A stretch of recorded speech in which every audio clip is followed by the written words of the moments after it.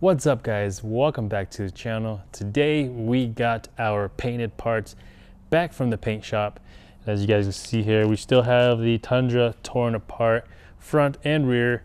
So what we're gonna be doing in this video is we're gonna show you guys the painted parts, how close the color is to the actual factory color, and then of course, mounting it back on the truck. So let's go ahead and get started.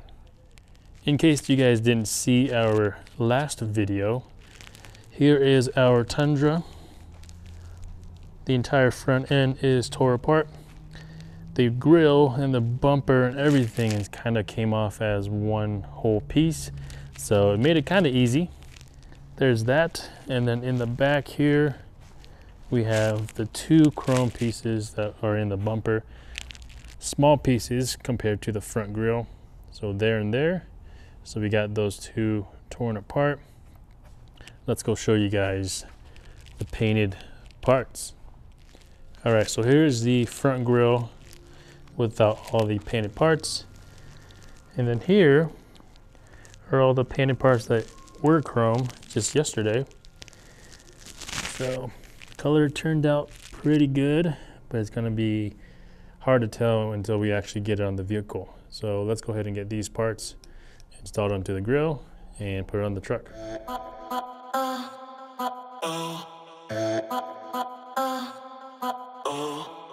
All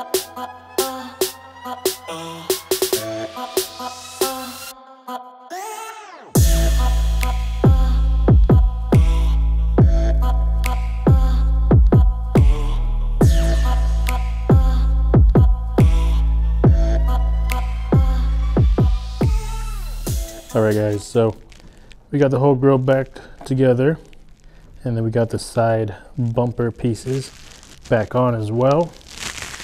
So now let's go ahead and put it back on the truck. All right guys, here it is. Color matched grill, no more chrome.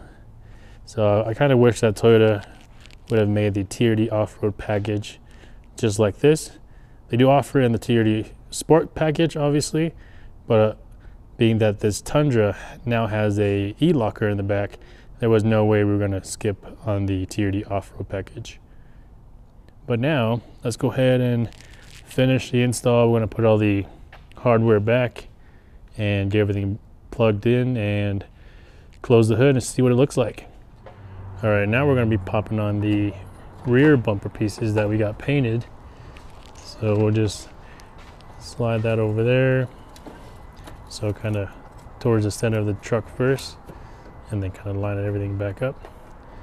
And then it should just all clip into place with some clips on top that will just snap in. And then the top part will just clip on as well. We just gotta push it down into the squares and they'll all snap into place. There we have it. No more chrome. It's color match. It's pretty spot on with the factory paint. Good thing we got it scanned. Now let's do that side. All right, now we have this very last piece that's going to go on the very bottom of the center of the bumper. So this one's pretty easy. Everything just snaps into place. So we'll just clip it in. All right, guys, we are all done with the Tundra. So as you guys can see here, it looks so much better without that chrome.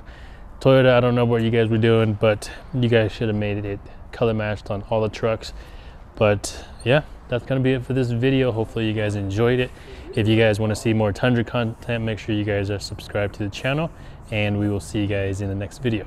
Peace.